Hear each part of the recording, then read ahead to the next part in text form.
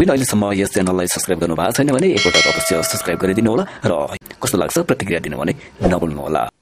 दर्शकबिन अहिलेसम्म यस च्यानललाई सब्सक्राइब गर्नु भएको छैन भने एकपल्ट अवश्य सब्सक्राइब गरिदिनु होला र कस्तो लाग्छ प्रतिक्रिया दिनु भने नभुल्नु होला